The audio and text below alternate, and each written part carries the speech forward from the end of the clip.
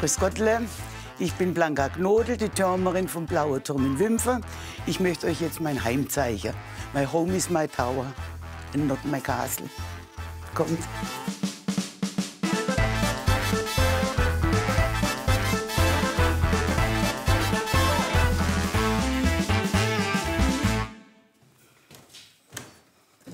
So, ich bin jetzt im Aufstieg zu meiner Wohnung. 134 Stufen sind es bis dort noch. Und dann geht es noch ein paar Stufen auf zum Rundgang, aber mir reichen die 134. Also hier ist die Mautstelle. Hier ist der Eingang zu meiner Wohnung und da ist auch die Kasse. Mautstelle heißt in luftiger Höhe, Gebührenbezahler. Ich habe hier Eintrittskarte, die kriegen die Leute, wenn sie hochgehen. Und die können dann hier hoch weiter und können die Aussicht genießen. Und das ist meine Aufgabe, dass ich hier bin, dass der Turm auf ist und dass ich hier wohne, weil wir die längste Türmertradition Deutschlands haben. Ich bin Nummer 32 und die erste selbstständige Frau.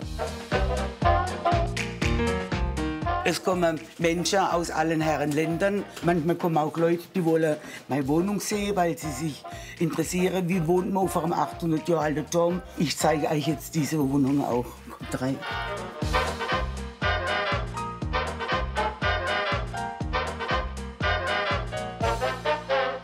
So, hier ist also jetzt meine Wohnung, 53 Quadratmeter und in 25 Meter Höhe. Hier ist unser Esstisch. Da haben meine Kinder dann beim Mittagessen gesessen.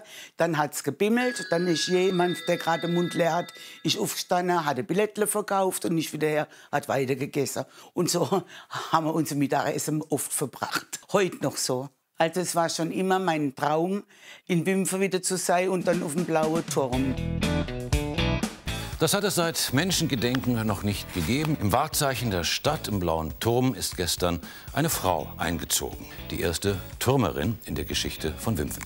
30 Mitbewerber hatten das Nachsehen. Ich war also absolut happy und glücklich. Das war wie ein Sechs im Lotto für mich. Und jetzt gehört dieser 800 Jahre alte Turm mir.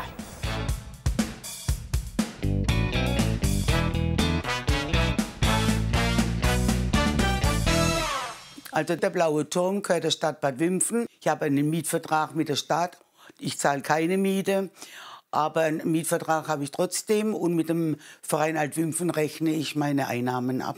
Und hier ist ein uralter Stadtplan von Bad Wimpfen. Alles ist Stiche, alles ist aus Bad Wimpfen. Mehr Wimpfen geht nicht mehr hier. Es lebt alles hier. Das sind alles Erinnerungen. Ich bin nie allein. Meine ganze Wohnung erzählt Geschichte.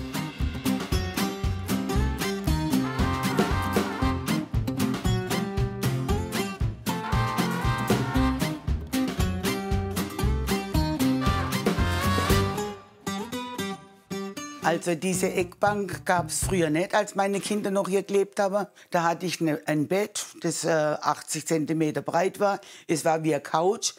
Wir haben da drauf gesessen tagsüber und abends habe ich drauf geschlafen.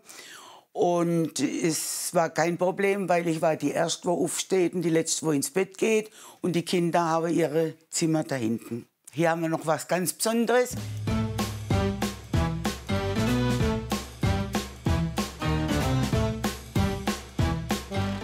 Das ist ein 200 Jahre altes Klavier auf einem 800 Jahre alten Turm. Ist ein Blüten aus Leipzig. Habe zwei Mann hier hochgetragen in sieben Minuten. Solche Bären. Und dann habe ich es abgestellt und dann habe ich gesagt, Gottes Willen, es ist was Furchtbares passiert. Das ist das falsche Klavier. Die Gesichter, die hätten wir fotografieren müssen.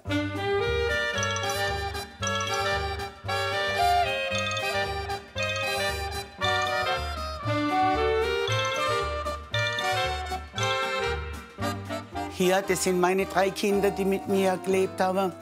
Das sind die Eltern, die Großeltern, die Urgroßeltern, Ururgroßeltern, Urururgroßeltern. Also dreimal Uhr und die müssen jetzt alle ein bisschen zusammenrücken, weil die Katja jetzt zwei Böbel gemacht. Das heißt also, ich bin eine Eingeborene von Bad Wimpfen und red auch noch diesen Uralterslänge. So, und jetzt zeige ich euch, wo ich jetzt schlafe.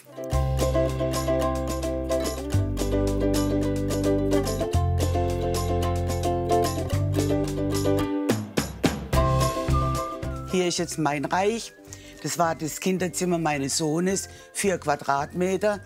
Er war glücklich mit vier Quadratmeter. Es war anders eingerichtet und hatte Türe gehabt zum Zumachen. Und jetzt habe ich hier meine süßen Träume. Bevor wir eingezogen sind, 96, war das alles hier ein großer Raum mit weißen Wänden. Es war nichts abgeteilt, es war nur die Badezimmertür zum Zumachen und sonst nichts. Und dann habe ich das also geplant und mit meiner Kumpel gebaut. Und das ist dann draus geworden. Wie kriege ich vier Personen in ein Zimmer unter, dass jeder ein bisschen Rückzug hat. Und ich bin ganz glücklich und stolz, dass es so schön geworden ist. Die Decke hier ist eine Dachladerkonstruktion mit Lampenschirmpapier, damit es nicht so dunkel ist da drin und äh, dass man einfach eine Leichtigkeit hat. Und ich habe jetzt hier mein Bett und ich fühle mich richtig kuschelig. So, das war jetzt das Zimmer meines Sohnes und jetzt zeige ich euch, wo meine zwei Mädels geschlafen haben, da hinten.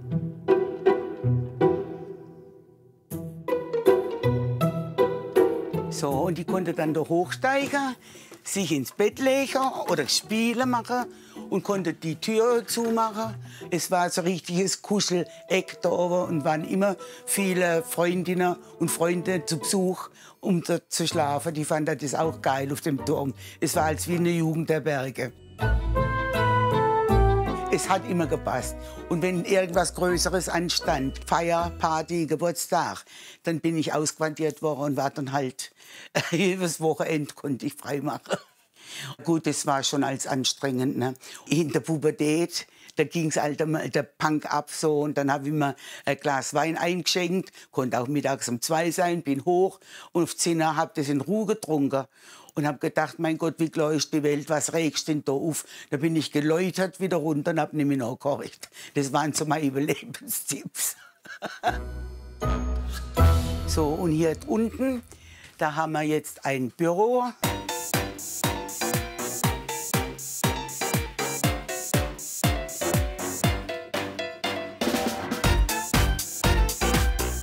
Da haben meine Kinder Schularbeiter gemacht. Da waren die Kleiderschränke drin. Und jetzt ist halt ein Computerraum auf dem 800 Jahre alten Turm. Also der blaue Turm steht unter Denkmalschutz, 800 Jahre, ist jetzt auch wieder gerichtet worden. Aber meine Wohnung, die konnte ich einrichten, so wie ich das jetzt gemacht habe, war kein Problem mit der Stadt oder irgendwelchen Bedenken vom Denkmalschutz oder so.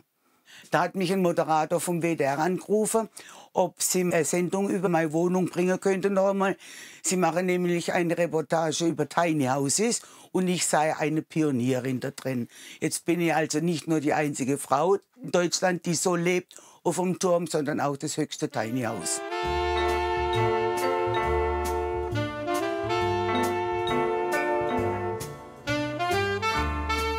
Also wir haben auf jeden Fall die Entscheidung, hierher zu ziehen, nie bereut. Gar nie. Wenn man zum Fenster rausguckt und was man da alles sieht über die Stadt und in die Innenhöfe, da kann man also einiges entdecken. Und dann Sonnenaufgänge, Sonnenuntergänge, Regenbogensee, wo sie anfangen, wo sie aufhören. Es ist schon eine tolle Atmosphäre. Ich meine, am Anfang war es natürlich so, dass man schon einmal unten ankommt und hat den Autoschlüssel oben vergessen, also 134 Stufen wieder auf. Meine Kinder haben ab und zu den Turnbeutel vergessen. Den habe ich dann zum Fenster ausgeworfen. Das war also danach, waren die froh, dass sie nicht hoch mussten. Und hier, das ist meine Küche, klein aber fein, alles was man braucht.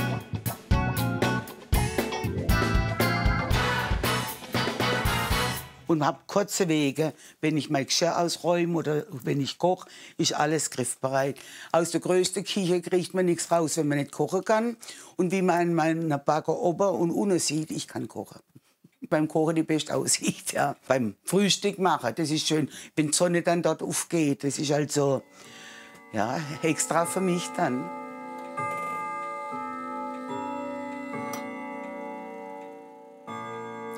Das ist auch ein Lieblingsstück von mir. Das ist eine Standuhr, die habe ich mir also Kaiserschnittgeburt äh, meiner Tochter geleistet. Und deswegen weiß ich, die ist genau 36 Jahre alt. Aber hier der Big Ben, habe da drüber einen äh, Regulator. Dann schlägt der Kirchturm, dann schlägt mein Turm. Also ich weiß immer, was die Stunde schlägt. Und hier habe ich auch Minitürme. Wir haben eine ganze Sammlung davon. Und dieser Turm, den hat einer von meiner Künstlertruppe gemacht für die Sanierung des Blauen Turmes. Das haben wir verteilt in den Gaststätten und in den Läden, Metzgereien, überall. Und das hat 40.000 eingebracht. So hat jeder Wimpfner dann das Gefühl gehabt, ich habe auch was dafür getan.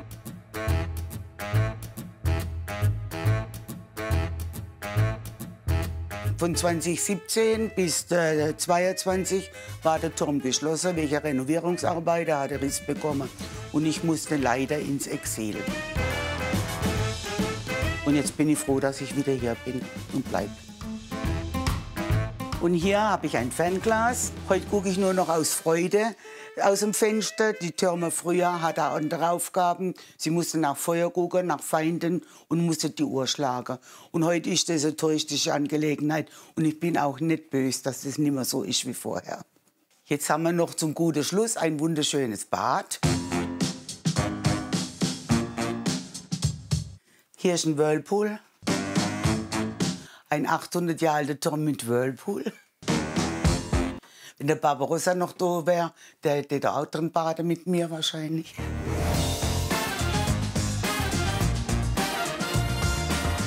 Und da oben ist Sand aus aller Welt. Malediven, Namibia hat meine Tochter gearbeitet. Dubai, Oman und so, Sri Lanka war sie in Urlaub. Und hier ähm, ist mein Spanien. Ich habe dort gelebt und gearbeitet. Und das sind meine schönen Erinnerungen an diese Zeit. So, jetzt haben wir die Wohnung gesehen. Jetzt zeige ich euch, wie, uns, wie ich meinen Einkauf mache und hochbringe. Es ist auch eine abenteuerliche Sache, aber die Leute helfen und es macht viel Spaß. Ich zeige es euch gleich.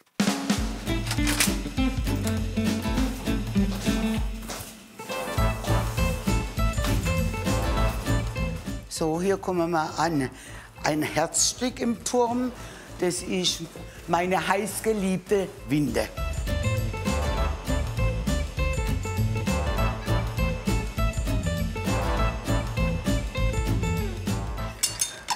Die bleibt jetzt unten, bis ich dann vom Einkaufen zurückkomme. Falls es so schön Wetter ist, setze ich mich unten aufs Bänkchen vor dem Turm und warte, bis so ein gestandenes Mannsbild kommt. Und dann mache ich einen Deal, er kann umsonst hoch, wenn er mir die Tasche in den dritten Stock zur Winde trägt.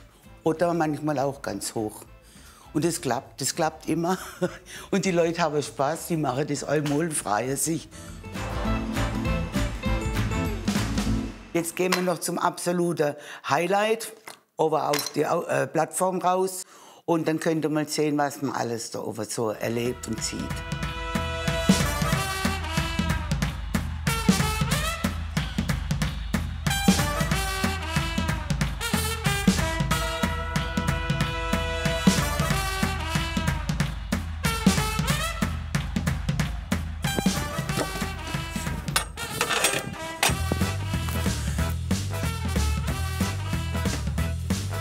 So, hier ist mein Platz in luftiger Höhe. An der Sonne, Sonnenaufgänge, Sonnenuntergänge. Und hier kann man es aushalten.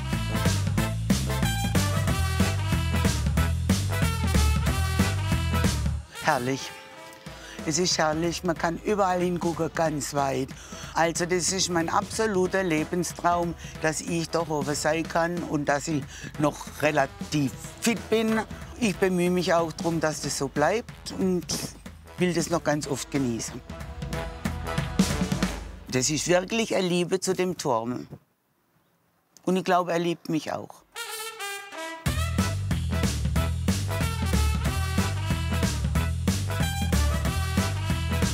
So, jetzt habt ihr gesehen, wie ich in meinem Paradies lebe, auf dem blauen Turm. Ich würde mich freuen, wenn ihr mich mal besuchen kommen tätet. Und wenn ihr weitere Objekte, interessante Häuser oder Wohnungen sehen wollt, dann klickt auf da oder da. Und tschüss.